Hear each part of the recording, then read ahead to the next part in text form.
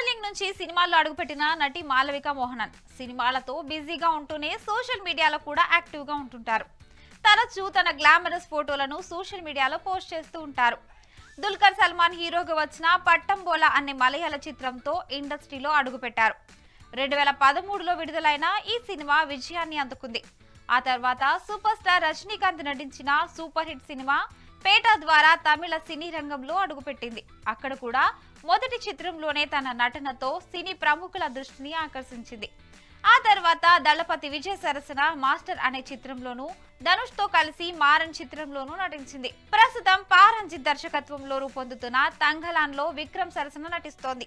Shooting పూర్తి చేసుకున్న ఈ సినిమా ప్రస్తుతం పోస్ట్ ప్రొడక్షన్ పనులు జరుపుకుంటోంది. తంగలాన్ సినిమాపై ఇప్పటికే భారీ అంచనాలు నెలకొన్నాయి. విక్రమ్ భిన్నమైన గెటప్లలో కనిపించబోతున్నారు. హీరోయిన్ మాలవిక మోహనన్ కూడా సినిమాపై భారీ ఆశలే పెట్టుకుంది. ఈ మధ్య సినీ రంగంలో తను ప్రవేశించి దశాబ్దం పూర్తయిందన్న విషయాన్ని గుర్తు చేసింది.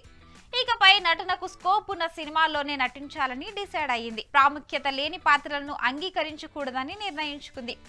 అది ఐదు వందల కోట్ల రూపాయలు వసూలు చేసే భారీ బడ్జెట్ మూవీ అయినా సరే తన పాత్రకు ప్రాధాన్యత లేకపోతే అందులో నటించబోనని స్పష్టం చేసింది. అలాంటి చిత్రాలు బ్రహ్మాండమైన విజయాన్ని సాధించినా తన పాత్రకు గుర్తింపు ఉండదని అందుకే ఇలాంటి నిర్ణయం తీసుకున్నట్లు నటి మాలవిక మోహనం తెలిపారు.